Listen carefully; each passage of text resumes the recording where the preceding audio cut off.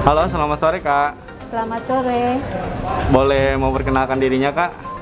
Boleh. Baik.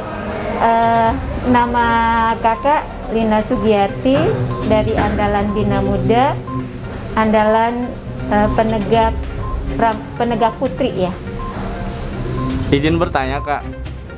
Eh, hari ini tuh ada acara apa sih Kak? Kebetulan hari ini kita lagi ada kegiatan eh, penguatan karakter pramuka penegak pandega yang kebetulan sekarang dilaksanakan di SMK 2 ya, SMK Negeri 2 Kota Bogor. Oke, bisa jelaskan bi- bisa jelaskan bagaimana jalannya acara ini Kak? Eh, untuk jalannya acara, alhamdulillah tadi kita mulai dari upacara pembukaan dari pagi hari berjalan lancar dan dihadiri oleh eh, wakil dari eh, Kuarcap Kota Bogor yang mewakili kebetulan Kawali. Kemudian ada pemateri juga hadir semua untuk hari ini ada enam pemateri yang masing-masing eh, mewakili bagian-bagian dari materi yang akan disajikan oleh pemateri tersebut. Siapa saja yang hadir dalam acara ini?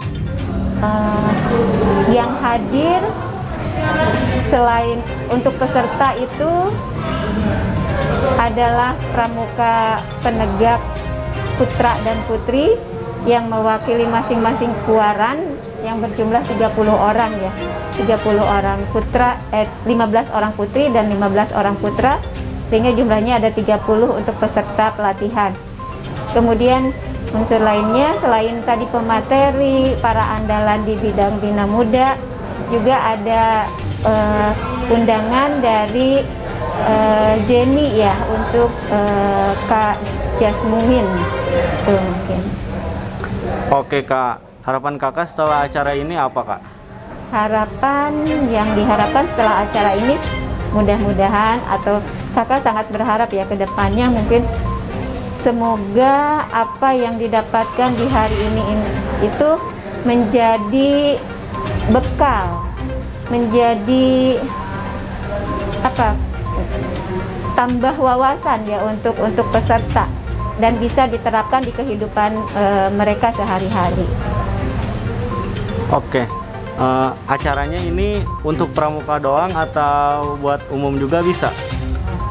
Kalau eh, untuk hari ini kebetulan yang peserta adalah eh, utus dari eh, pramuka ya. Sebetulnya ini kegiatan sangat bagus kalau dikembangkan untuk umum juga. Jadi tidak terbatas kepada anggota pramuka saja. Yang namanya penguatan karakter kan semua eh, apa apalagi untuk generasi muda ya perlu untuk pengembangan dan penguatan karakter di era-era sekarang. Jadi ke depannya mungkin kita akan menambah eh, jumlah peserta dari yang non pramuka, Jadi da- dari umum gitu. Oke, tanggapannya tentang acara ini apa Kak? Untuk acara ini menurut kakak sangat bagus ya dilaksanakan. Alhamdulillah anak-anak ju- eh, anak-anak adik-adik peserta juga ikut eh, dengan semangat apalagi tadi dari satu materi ke materi lain itu sangat beragam. Eh, para peserta juga mengikutinya dengan sangat antusias apalagi ketika eh, materinya Kak Basir tuh ya eh, cukup-cukup eh, sangat-sangat inilah sangat apa sangat menyenangkan sekali Terakhir nih Kak, pesan dan kesannya untuk acara ini apa Kak? Eh, pesannya ke depannya mungkin lebih ditingkatkan lagi tadi ya. Jadi tidak hanya terbatas di pramukanya saja jadi ada dari unsur-unsur eh, umumnya juga.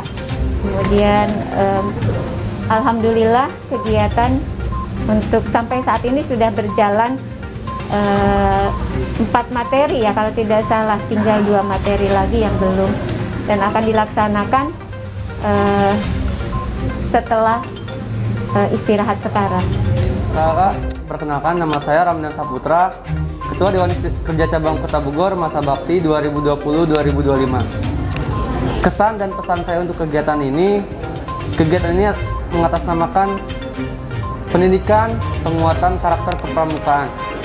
Berarti dalam kegiatan ini kita harus menanamkan jiwa eh, karakter kita yang apa ya kental sekali dengan kepramukaan. Kita tahu, kita rasakan bahwa zaman sekarang karakteristik manusia zaman sekarang sudah terkikis oleh zaman. Nah, maka dari itu peran dari pramuka sendiri harus berada di posisi terdepan atau garda terdepan untuk pembentukan karakter. Dan harapan saya dengan kegiatan ini teman-teman pramuka penegak dan pandega Kota Bogor bisa menjadi lebih baik lagi dan menjunjung tinggi karakter karakter-karakter yang ada di Bogor ini kayak gitu. Sekian dari saya. Perkenalkan, di sini nama saya Muhammad Giral Gifari. Saya sebagai anggota Dewan Kerja Cabang Kota Bogor. Nah, kali ini saya sedang eh, mengikuti kegiatan eh, pengembangan karakter nih kakak.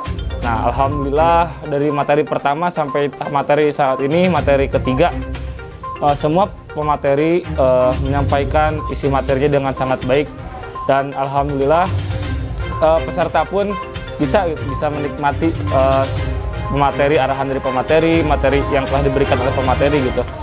Dan saya harap untuk para peserta eh, pelatih kegiatan ini bisa menjadikan eh, patokan eh, atau sebagai pelopor pelop- pelapor dan pelop- pelopor sebagai pelopor di gugus depannya masing-masing dan di rantingnya masing-masing